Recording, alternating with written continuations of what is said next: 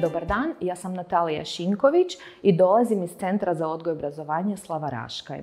Naš centar pruži e, podršku osobama s oštećenjem sluha, s teškoćama e, govorno-jezične komunikacije i osobama sa višestrukim teškoćama. E, nastojimo pružiti potporu našim učenicima i tako sudjelujemo u mnogobrojnim projektima programa Erasmus Plus i Europske snage solidarnosti.